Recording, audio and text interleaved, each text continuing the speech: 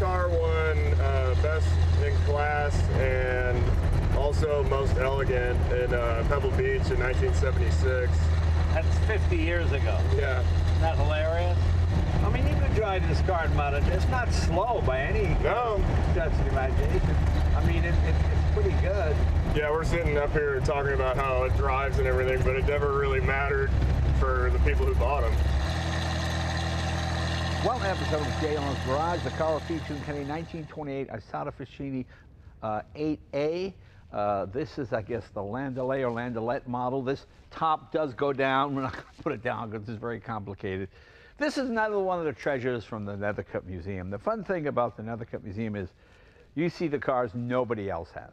I mean, they've got stuff going way back. They were collecting these things before it was even considered collectible. Uh, J.B. Nethercutt was one of those visionary guys who saw the value in things that when no one else did. You know, I always tell the story of how I got my Lamborghini Miura for free because the engine wasn't running right; it was blown, and the guy gave it to me because he couldn't sell it for anything. Well, uh, and that was in the 80s. JB goes back to the 50s uh, when these type of cars were considered ridiculous. Why would you buy something like this? It eats gas, it's big, you can't park it anywhere. But he had an artist's eye. He could tell what was going to be collectible and what was going to be desirable. And this is certainly one of those cars. i Isotta Fraschini, uh, interesting car company. This is really the only car, by this I mean this model and this engine, that they sold. This was one of the most powerful straight eights you could buy before the Duesenberg. Uh, well, let's ask Cameron. Cameron, come on in. This is Cameron Richards. He's the uh, vice president of the cut. 135 horse, that's what it is? 135 horsepower, yeah. I thought it was a little more than that, but okay. Overhead cam. Yeah, it was overhead cam. They were uh, visionaries in that way with the overhead cam, the four-wheel brakes. This was a car that was geared for the American market. The idea was to sell it to wealthy Wall Street types, Hollywood people, and they did. Uh, the most famous owner was probably Rudolph Valentino. I don't believe he lived long enough to uh, take delivery, but he did order one, and there was a lot of hoopla about it. And then when he died, the car arrived uh, weeks or months after his death. The car became a huge deal. Uh, so it was pretty exciting. If you ever see the movie uh, Sunset Boulevard, William Holden, uh, the car they drive is one of these. Uh, it might even be this one for all I know. It can't be that many of them around. We could check the uh, archives for Yeah, that. this one was owned by uh, Lynch from Merrill Lynch, Wall Street. Isn't that correct? Yeah, so our records show that it was originally uh, it was delivered in New York, brand new to Signal Lynch, who was the wife of I think it's Edmund Lynch, who was the co-founder of Merrill Lynch. Right. So he had to have a few bucks to have this car. Yeah, this car was twelve thousand dollars brand new in 1928. In 1928, when a house is about $1,200. Yeah. I mean, not a big house. I mean, just a regular house that a normal person would live in, a working person. So that gives you some idea. I mean, a Model T was $240, so that gives you some idea. I mean, it is a beautiful, beautiful car. Let's open the hood here. Open this up here. Show them the, the straight eight engine. Look at this. The thing I find fascinating about this is the engine compartment is pretty much sealed. You got splash pans under there that keep dirt and grime and, and road film from coming up onto the engine or getting anywhere near uh, the carburetor. So it's all sealed off here so it remains clean. Uh, it is, I mean, it's just a piece of artwork. It really is something. Notice the tooth belt as well. Yeah, yeah, the red really throws it off. So as far as the engine goes, yeah, it's an overhead cam, 449 and a half cubic inches, uh, straight eight. You know, unlike Cadillac and uh, Duesenberg, which did make chauffeur-driven models, Americans like to drive their cars. Right. Uh, as opposed to Europe, where you like to be driven, you know. So this was more of a show, and this was, this I think redefines truck-like. It really is Yeah, trucky to drive. burly. Yeah, yeah. to the, and and huge by Italian standards. I mean, Italians made these little tiny cars, and then this big giant thing, which is barely fit on any Italian road, for goodness sake. So it, it, it it's pretty impressive. The company did not last too long. I think World War II kind of did it in. They Yeah. got hurt by World War One. Then by the time World War II came, the company actually lasted until I think 55, but they were making other items. It was just a name only. But uh, the few they did, this was their signature piece. This was their signature engine. Yeah, like you said, it was, although it's from Italy, they really went over the uh, American market for this car. Although uh, it was interesting because they decided not to convert it to left hand drive for Right. Americans because they found that it was easier for the chauffeur to just get right out on the same door to open for the passenger. And as you said, overhead cam, which Yep. was really unusual for a production automobile. Yep. I mean, there was an American car called the Jackson early on that had overhead cam, but not in this price range and not at this sort of prestige. I mean, the detail work in this is unbelievable. You really see that Italian artisan kind of thing, you know. 100%. You'll see the interior, beautiful. Is that the? No, it's not the original interior, is it? It's been restored. Okay. Uh, actually, the restoration on this car was very complex. Yeah. Because almost all the parts for it we had to get from Italy. Right. There was really nothing in the states that lasted. Yeah, there was not. It's not not like there were dealers everywhere. They sold a car and it came here, Yeah. and there's some guy named Angelo would show up at your house. And, I got to fix the car. You know, that's what it was. But, but yeah, this was this was a car to be seen in, to pull up at a Hollywood premiere. You all see these women get out in these, you know, daphne gowns and things. Hilarious, hilarious. But just a beautiful, beautiful automobile. And as I said, it's a Landaulet or Landaulet. Uh, this opens. And I guess these, do these door frames, no, the door frame stays in. I see, but the top comes down. Yep. And then the uh, the front doors are a little different, so Yeah. they don't have that. Right, right. So when you when you take this off too, you know it's interesting. So many of the American cars they kept the chauffeur compartment open, so the poor chauffeur would be out there freezing with a cap Yeah. on and gloves, you know, and the rich guy would be in the back with a cigar. I, I think the times were a bit more egalitarian there. Yeah. They put the, a roof on it just to make it. I like it when it looks like a proper car rather than a town car. With I never got the open front thing, but uh, and of course you've got a privacy curtain there, and you've got a Yep. divider window. Uh, you have jump seats. I mean, this really was the height of elegance in 1928. I mean, this was. I mean, this is the way that door shuts. It's great. And this is a toolbox, Yep.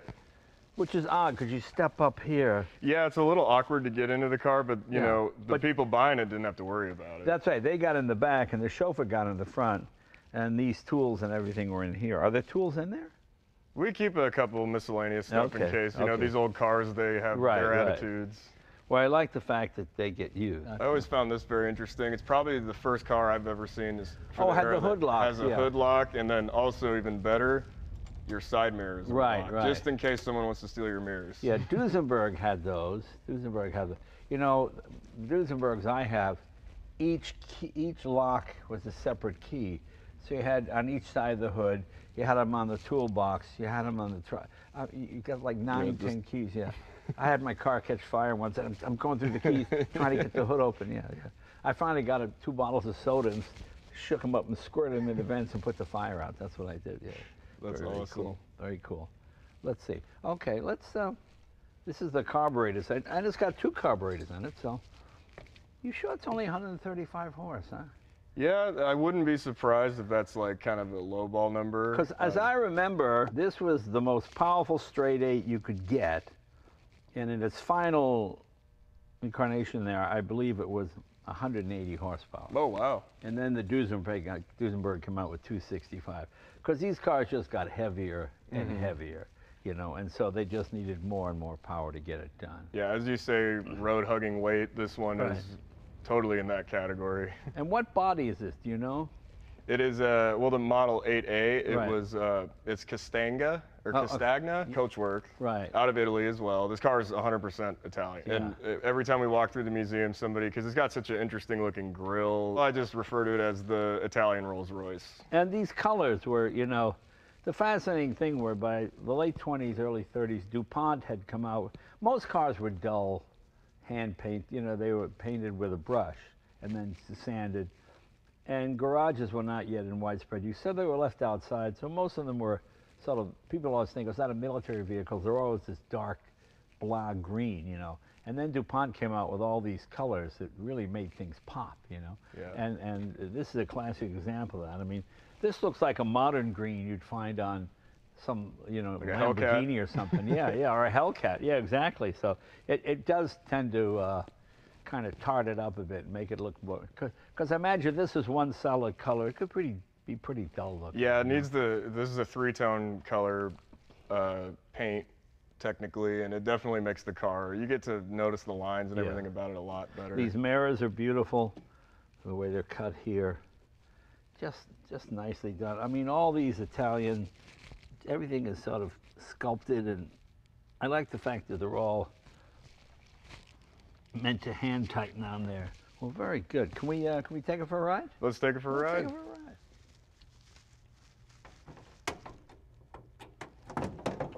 There we go. Now, there's one feature I find so fascinating on this. This is cool. Hop in the back seat. and Yeah, you- let's- let's you show work it. everybody. Oh, wait till you see this. If you're a chauffeur, you must have these. This is one of the coolest things I've ever seen, honestly. This way, the owner doesn't suffer the indignity of having to talk to the driver. Cameron, give me some directions here. Go right. Go left. Slow. Turn around.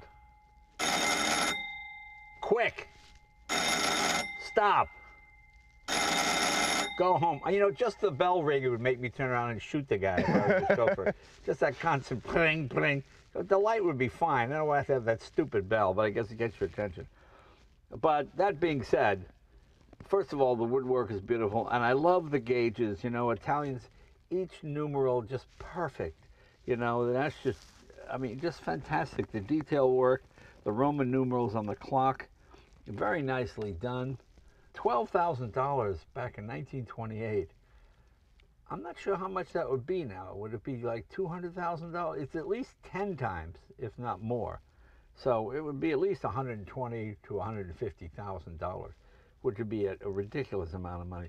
I mean, all these little levers here on your steering wheel for carburetor, you know, and for uh, uh, throttle and choke and uh, advance and retard, just beautifully done. It's a three-speed box. Um, I think the Cadillac probably had a bit more sophistication when that came out because that Synchromesh came out a couple of years later. Uh, this was really a car from the 20s, and by 1928, it pretty much run its course. Uh, you know, technology was moving quickly. New things were coming all the time 16 cylinders, 12 cylinders. Suddenly, a straight eight was not that impressive anymore, unless you were Duesenberg. And then it was 265 horse and you know two overhead cams and uh, four valves per cylinder. Uh, this was just a big old straight eight engine with a lot of bottom end torque. Just beautifully, beautifully done. Again, just looking at all the detail work here, the way this top comes down and then this comes all the way down like this. Really block your entire view if you want. The windshield opens, which is kind of cool. Uh, this top comes off. But I imagine this is pretty weather tight too in here. Uh, all kinds of room. You could wear a hat in this thing and drive. Uh, windshield opens, as I said. Um, but very truck-like, very heavy. All the cars of this period had this what they used to call a railroad brake, this giant hand hand brake, which was really was for emergencies because brakes faded pretty quickly. If you're going downhill in this thing, you're going downhill pretty fast. Uh, but uh, all sorts of little plaques with what do we have here? Who built it? Where it was built in Italy, the New York distributor. Just wonderfully, wonderfully done. Um, any trick to firing this up, Cameron? Yeah, I should probably climb up to the front, huh? Yeah, come on up here. We'll, we'll take it for a spin. This one I have to hear you going clang, turn left, turn right.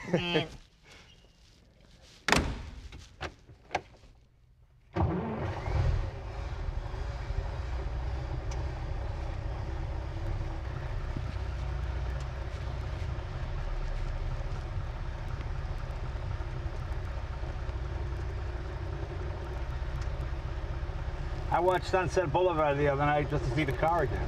Oh yeah? I'm gonna have to put that on my list now. And you got a good eye for that. I would have backed up. You know, you hear that second gear whine you always hear in the old movies, you know, Yeah. when the car winds up. Yep. the- Yep.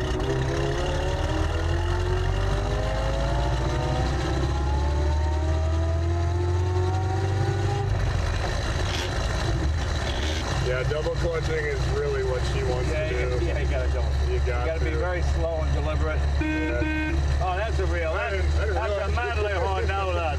You know, once you roll it, it's actually pretty nice. This feels like more than 135 horsepower to me. Yeah, dude, just pulling it. Uh, according to our records, that's what it says. Yeah, that might be true. I thought they were more than that. I know they were the most powerful straight eight engine in the world until the Duesenberg came along. Very strong motor. This thing's the size of a Super Duty. I just find it funny how large it is because it didn't, it wouldn't really fit on almost any road from the country it came from. Right, and it's large, but it's cramped inside. Although the back has plenty of room. Yeah, the back's nice. Chauffeur was supposed to suffer. That was Right, expected, right. You know.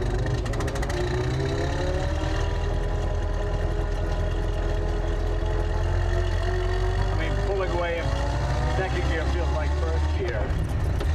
This car won uh, best in class and also most elegant in uh, Pebble Beach in 1976. That's 50 years ago. Yeah. Isn't that hilarious? And we brought it back a few times. Uh, Yeah. It's a fan favorite at Pebble Beach, just so different. Yeah, you know, it's funny. They this was such a prestige car when it came out. They got so much publicity, but they didn't sell very many. I mean, they were the equal of Rolls Royce or Mercedes Benz or Packard. It just they didn't. I, I'm not quite sure where they went wrong, but Maybe they did test drives. you know, it's very nice. It's firm and it needs a heavy hand, but once you accept that fact, you know, it's what they used to call a man's car. Women didn't drive, so the fact that it was heavy meant, oh, you know, Yeah. it took a real man to, you know, that kind of silly talk. But it actually, it actually is true. I mean, it does everything it's supposed. It stops very quickly. Yeah, the brakes are there, that's for sure. Yeah.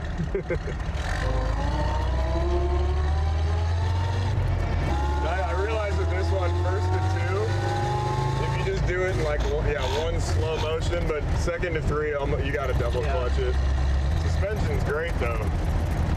Yeah, it rides very nicely. I think Sergio Franchi had one of these. You know who he is? Sergio Franchi, no. He was uh, he was an Italian singer back in the 50s, 60s, 70s, 80s, about the end of the road there. He used to be the spokesman, I think, for Ragu, one of those Okay. Italian things. And uh, he had, I think he had the Roadster version, which is actually kind of cool. Cool. Yeah, we're sitting up here talking about how it drives and everything, but it never really mattered for the people who bought them. I mean, you could drive this car and mount. It's not slow by any No, stretch of the imagination. I mean, it, it, it's pretty good. It's torquey. I'm not sure if this clutch is any any heavier than any other car of the period. You know, you get so used to modern cars with all their hydraulic assist and banking Yeah. assist and all that stuff. I drove a modern Mustang uh, manual and I almost stalled it. And the, and the dealer guy was just like, "Hey, have you ever driven a stick before?" It's like, "Yeah, but I've never driven a, a new one with all the all the." You barely even feel the engine when you Yeah. do the timing. It's interesting. The, the old stuff's a lot easier to learn on, a lot easier to understand. You want to drop the load just as you're slowing down. Oh, you do build up your leg muscles. Yeah, no kidding. Yeah, it, interesting. I saw that Chevy lasted well into the 50s.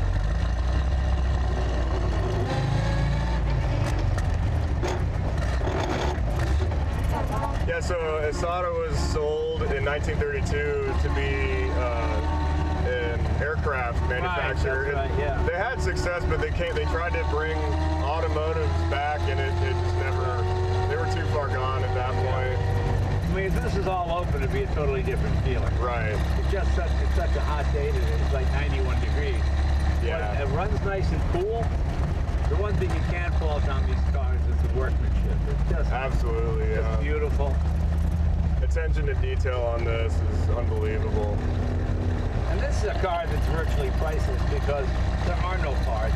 No. Anything you do, you would have to make, which would make it less quote original. Yeah. So like I said, it all, almost all the parts for this car, if not all of them, came from Italy Yeah. that we had to get. Um, and we that was back. This car, this is an older restoration. Uh, my great grandfather bought this car in 1966. Right. So restoration was done somewhere in the early to mid 70s, but that was back then. You couldn't even get parts in the But back States. then in the 60s, this car was only 35 years old. Right. Now it, it would be like buying a car from the 90s today. Yeah, that- I mean, that's it's weird. funny when you think about it like that. But you know what? It drives very nicely. The straight line here is great.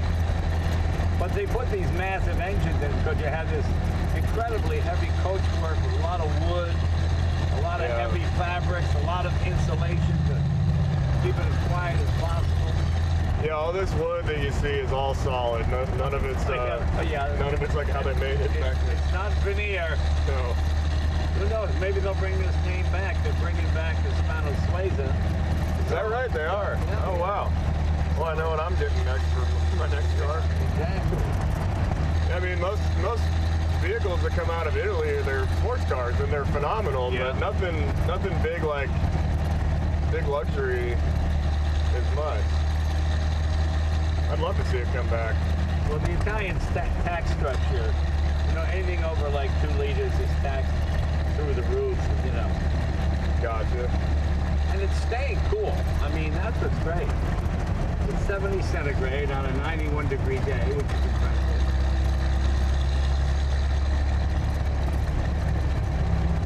And the Autovac fuel system's interesting. Just you gotta pop the hood Yeah. every time just to uh, just to be able to start the thing. I don't think you had to do it every time. I think if you use the car on a daily Drove basis, regularly, yeah, you were probably. fine. It was just one of those things. You know, the car was going to sit for any length of time. Yeah, you know, because it, it, the crazy thing is if your fuel tank's full, but if that Yeah. if that back system's empty, you're not going anywhere. Right, right. even that, that it soaks up bumps pretty well considering how you old it is. You feel the weight of that box on the back. Yeah. As soon as you go around the corner, hey, hey, hey, hey, hey, hey, hey, I'm, I'm still here. Well, again, Cameron, thanks for bringing us another jewel from the Nethercutt collection. Absolutely. Thanks for having me again, Jay. Yeah, if it's you really like seeing unusual cars, cars you've never heard of, cars you've never seen, uh, they've got it at the Nethercutt. And it's just a classic example of what the best was from a different era. They got more modern stuff too. But I just love a lot of these old classics because these days it costs so much to restore them. There are no parts. So when you find a collection like this that has all of these cars, you want to cherish it and use it. So check it out. That's another cut collection. We'll see you guys next week.